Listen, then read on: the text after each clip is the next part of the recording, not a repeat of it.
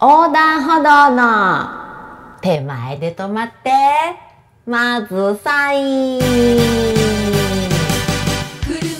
ロイ。皆さんこんにちは。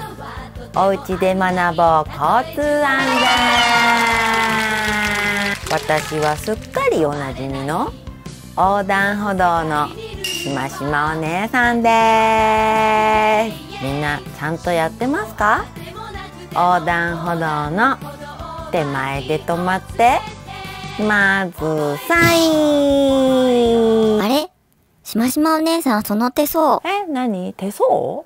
やあみんな、こんにちは。僕は魔法園児、まるわたるだあよ。ら気になる別になんでもないんだけどね。ひひひひ。あ、バグっちゃった。そう説明せねばなるまい横断歩道のしましまお姉さんは守る渡るのド S な攻撃を受けると防御スイッチが作動し何かに変身してしまうのだ。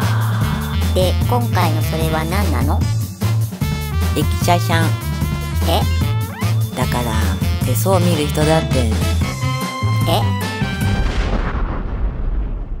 それでは張り切ってまいりましょう手相の基本は横の第三線上から環状線知能線生命線。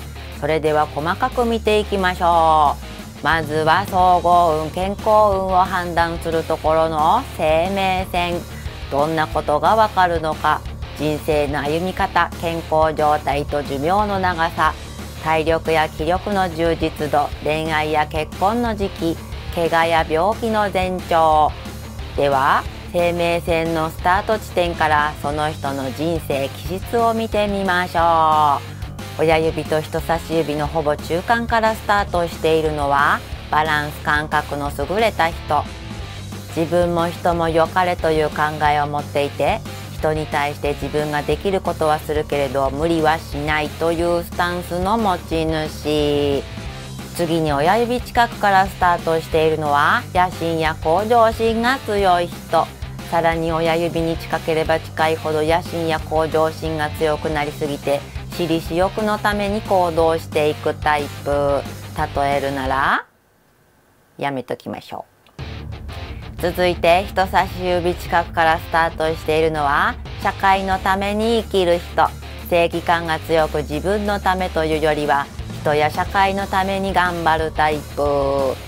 続いて生命線の長さで生命力寿命を見てみましょう。長く伸びているのは長寿のサインそして短いからといって短命ということではありません例えば風邪をひきやすいとかお腹を壊しやすいとかいったこと個人でちょっと気をつければいいことです次に生命線のカーブで勢力を見てみましょう適度なカーブの人はバランスがよく健康体小さいカーブの人はエネルギーが弱いので質のいい食事で補強することがおすすめ。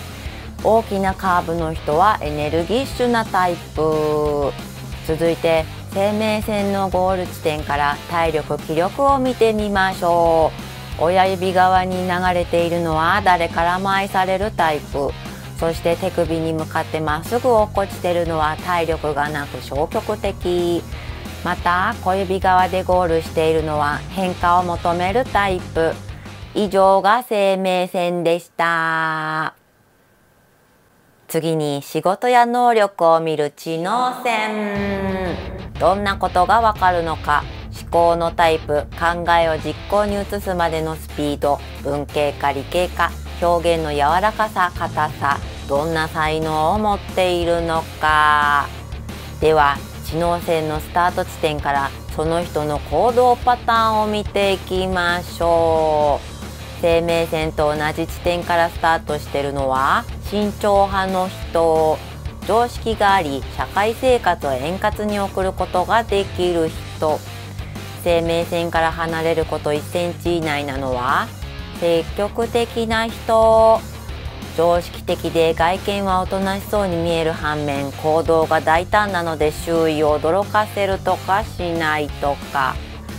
生命線から1センチ以上離れてるのは刺激好きな人。生命線と1センチ以上重なってるのは消極的な人。一人では行動できず周囲に依存するタイプです。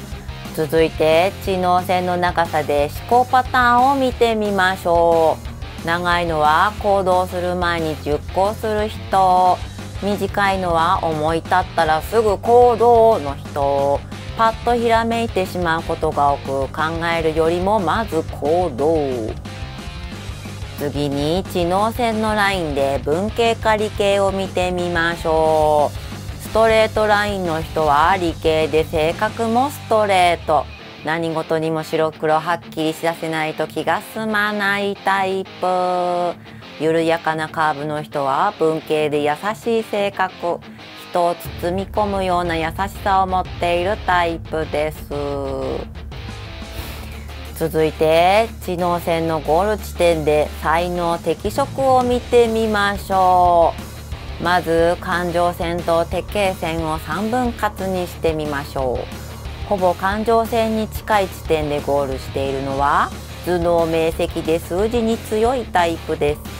上から3分の1付近でゴールしているのはリーダー的素質のあるタイプ。現実的な能力とクリエイティブな才能をバランスよく持ち合わせています。3分の2付近でゴールしているのは生粋のエンターテイナー。先見性と想像力があり何より人が喜ぶことを考えるのが得意。さらに下でゴールしているのは感受性の強さを意味しています。神秘的なことに関心が強く心の豊かさを追求するタイプ。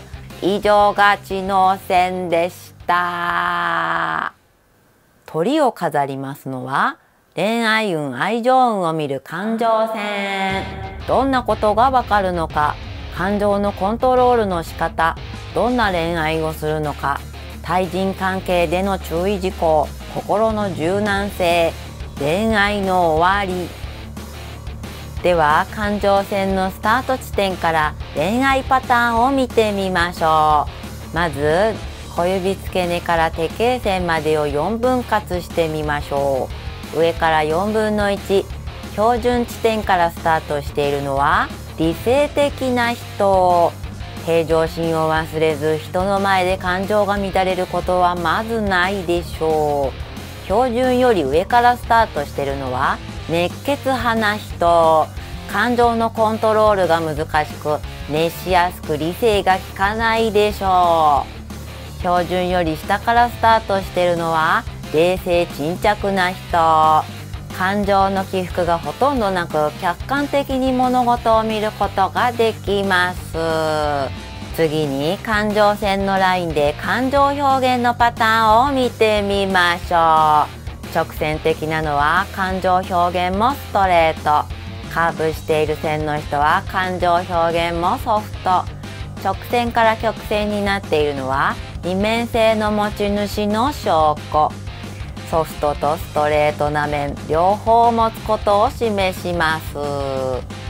続いて感情線のゴール地点から恋愛表現のパターンを見てみましょう。手のひらを横切ってゴールしているのは独占欲が強い。愛情型で独占欲が強いため嫉妬で暴走しがちです。人差し指付け根付近を突き抜けているのは一途なタイプ人差し指の付け根地点でゴールしているのは堅実で控えめ。堅実でプライドが高くじっくりと愛を育むタイプ。人差し指と中指の下付近へ向かっているのは情熱的なタイプ。一見クールに見えて中身は情熱的なのです。人差し指と中指の間を突き抜けていくのは理想系なタイプ。遊びの恋はせず恋愛イコール結婚と考える真面目な人であります。はいということで以上が手相の基本横の第三線でした。